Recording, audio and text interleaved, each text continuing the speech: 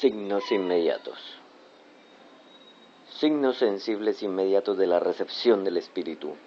Testimonio ungido, valiente y con poder. Profetizar dando mensaje de parte y en nombre de Dios. Hechos capítulo cuarto del 29 al 31. Lenguas como proclamación del mensaje en un idioma extranjero o como alabanza en palabras inteligibles. Primera de Corintios capítulo 14, unos y siguientes. Euforia con apariencia de estar borrachos y al temblor del viento huracanado y el fuego. Hechos capítulo 2 del 1 al 13. Aparece así cumpliéndose la promesa de Jesús. Por mi parte les voy a enviar el don prometido por mi Padre. Ustedes quédense en la ciudad hasta que sean revestidos de la fuerza que viene de lo alto. Lucas capítulo 24 versículo 49. Porque Juan bautizó con agua, pero ustedes serán bautizados con Espíritu Santo dentro de pocos días. Ustedes recibirán la fuerza del Espíritu Santo. Él vendrá sobre ustedes para que sean mis testigos. Hechos capítulo primero, versículos 5 al 8. La promesa se convierte en don y cumplimiento en lo que se consuma y culmina la obra de Jesús. Los efectos permanentes. Más importante que los signos sensibles inmediatos son los efectos permanentes que deben aparecer y manifestarse como fruto y consecuencia de la presencia del poder del Espíritu Santo. Los efectos más importantes entonces y que deberían manifestarse siempre son los siguientes. Primero, impulso misionero. El primer fruto de Pentecostés es el testimonio valiente, gozoso y ungido la salida misionera hasta las confines de la tierra, lengua de fuego, primero de alabanza, pero además lengua incendida en el anuncio y la proclamación de la buena nueva de la salvación de Jesús. Mateos capítulo 19, versículo 20. Pentecostés es para la misión el don del Espíritu Santo como poder de Dios. Es ante todo para dar testimonio de la presencia viva de Jesús en nuestras vidas para testificar de Él con la palabra, aprovechando toda oportunidad y para el impulso y compromiso apostólico y misionero. Solo con el Espíritu Santo derramado en abundancia en las personas y en la iglesia hay pasión y entrega misionera. Los apóstoles habían conocido a Jesús y enseñados por Él. Recibieron la misión pero no podían cumplirla hasta que recibieron el don del Espíritu Santo en Pentecostés. Esta es la condición y la clave para que la tarea misionera de la Iglesia, solo con ella, se tiene una visión universal misionera con ese poder interior, la pasión encendida y la entrega plena a la misión. Segundo, la comunidad cristiana. Como fruto inmediato de Pentecostés aparece una realidad nueva y extraordinaria la comunidad cristiana. Realidad única y nueva, fruto de la, de la vida nueva de Jesús y de la presencia activa del poder del Espíritu. Hechos capítulo 2 versículos 42 al 47. El Espíritu Santo, vínculo de amor del Padre y del Hijo, produce como primer efecto de su presencia poderosa la comunidad, que parte de una experiencia de encuentro personal con Cristo, con una relación íntima con el Señor, profundamente unidad entre sus miembros y poderosamente radiante por su fe viva y su testimonio ungido y valiente, es el primer fruto del Espíritu. Gálatas capítulo 5, versículos 22 al 23. Y fruto de Pentecostés con estas características.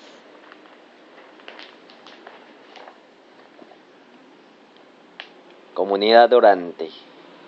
Acudían diariamente al templo a las oraciones con un mismo espíritu.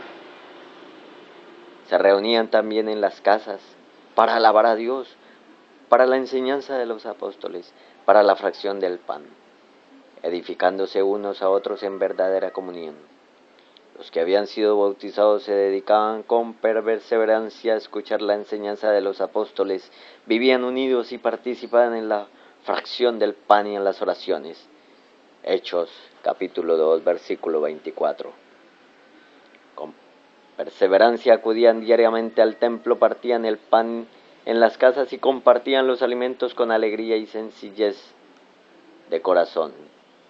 Alababan a Dios y se ganaban el aprecio de todo el pueblo por su parte del Señor. Cada día agregaba al grupo de los creyentes aquellos que aceptaban la salvación. Hechos, capítulo 2, versículos 46 al 47. Fruto concreto de la asistencia del Espíritu Santo es la centralización en el Señor. La vitalidad de la comunión cristiana brota de ahí. Comunidad, unidad. Comunión. Coinonia, íntima y totalmente unida y solidaria, con un solo corazón y una sola alma. En el espíritu y en el corazón ponían todo en común y no había ningún necesitado. En el grupo de los creyentes todos pensaban y sentían lo mismo y nadie consideraba como propósito nada de lo que se poseía, sino que tenía en comunión todas las cosas. Por su parte los apóstoles daban testimonio con mucha fortaleza de la resurrección de Jesús, el Señor, y todos gozaban de gran estima. No había entre ellos necesitados porque todos los que tenían bienes o cosas los vendían, llevaban el precio de lo vendido Hechos capítulo 4, versículos 32 al 34. Todos los creyentes vivían unidos y lo tenían todo en común, vendían sus posesiones y haciendas y las distribuían entre todos, según las necesidades de cada uno. Hechos capítulo 2, versículos 44 al 45. La coinonia significa comunión íntima, solidaridad, participación y compañerismo. Es el fruto inmediato del Espíritu, como lo afirmamos en el credo apostólico. Solo el Espíritu congrega la comunidad y la mantiene unida. Comunidad testigo. Era la respuesta a la oración de la primera comunidad cristiana de la Jerusalén y ahora, Señor, mira sus amenazas y conceda a sus siervos anunciar tu palabra con toda libertad.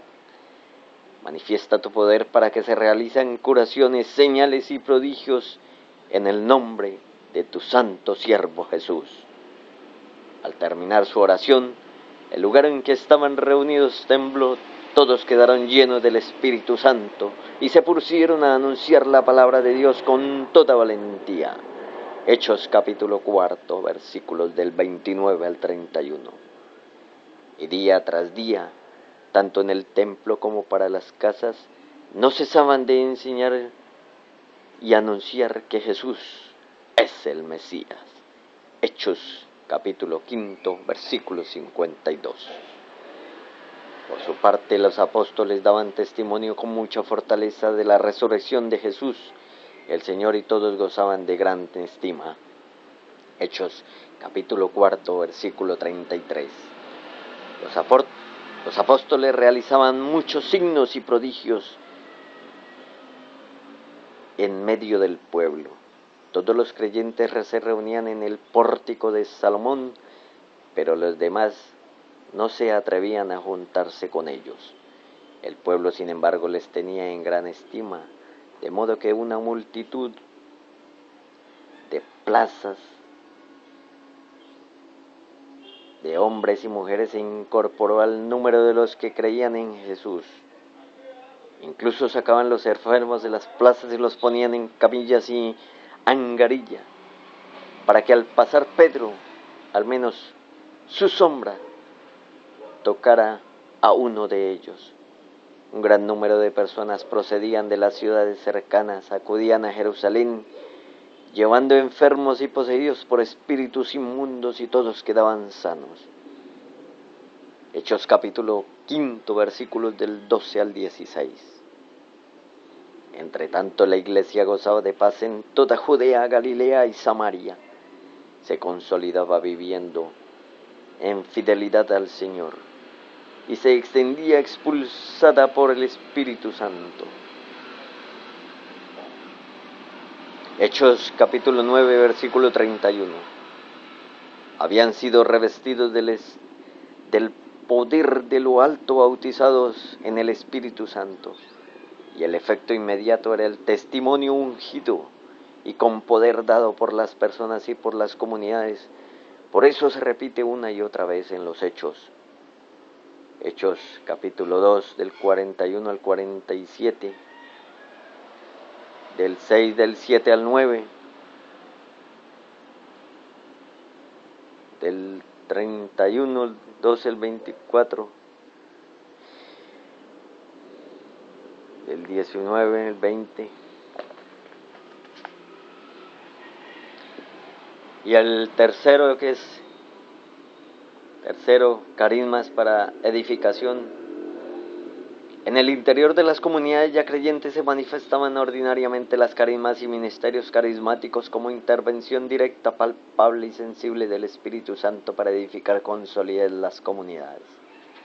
Sobre esto nos habla en especial San Pablo en 1 de Corintios del 12 al 14 y en Romanos del capítulo 12 del 4 al 8 y en Efesios el capítulo 4 versículos 11 al 16.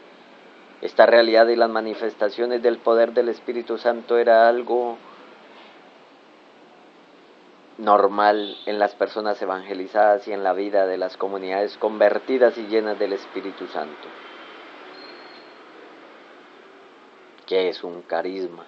El carisma es un don, fruto del amor de Dios que el Espíritu Santo concede a determinadas personas. Por carisma se entiende aquí toda manifestación del poder del Espíritu Santo que actúa a través de, su, de un creyente lleno de Él para la edificación de la comunidad. Así también nosotros, aunque somos muchos, formamos un solo cuerpo al quedar unidos a Cristo y somos miembros los unos de los otros, puesto que tenemos dones diferentes según la gracia que Dios nos ha confiado. El que habla de parte de Dios hágalo de acuerdo con la fe. Romanos capítulo 12, versículos del 5 al 6. A cada uno de nosotros, sin embargo, le ha sido dada la gracia según la medida del don de Cristo, y fue también él quien constituyó a unos apóstoles, a otros profetas, a otros evangelistas y a otros pastores y doctores capacita así a los creyentes para la tarea del ministerio y para la edificación del cuerpo de Cristo. Efesios capítulo cuarto del 7 al 11 y 12. Porque a uno Dios a través del Espíritu le concede hablar con sabiduría, mientras que a, un, a otro, gracias al mismo Espíritu, le da un profundo conocimiento por el mismo Espíritu, Dios concede a uno el don de la fe, a otro el carisma de curar enfermedades, a otro el poder de realizar milagros, a otro el hablar de Padre de parte de Dios, a otro el distinguir entre espíritus falsos y verdaderos, a otro el hablar en lenguas misterioso y a otro, en fin, el don de interpretar ese lenguaje. Todo esto lo hace el mismo y único Espíritu que reparte a cada uno sus dones como Él quiere. Primera de Corintios 12, versículos 8 al 11. Caminar en el Espíritu. Caminar en el Espíritu es la característica del creyente y de las comunidades que han recibido el don del Espíritu en plenitud. Si vivimos gracias al Espíritu, comportémonos también según el Espíritu. Gálatas capítulo 5 versículos 25. Jesús le contestó, yo te aseguro que nadie puede entrar en el reino de Dios si no nace del agua y del Espíritu. Juan capítulo 3 versículo 5. Debemos caminar en la vida según el Espíritu, ser iluminados, enseñados y conducidos por el Espíritu Santo. Es la situación ordinaria del cristiano. Palabra de Dios. Amén. Alabamos, Señor.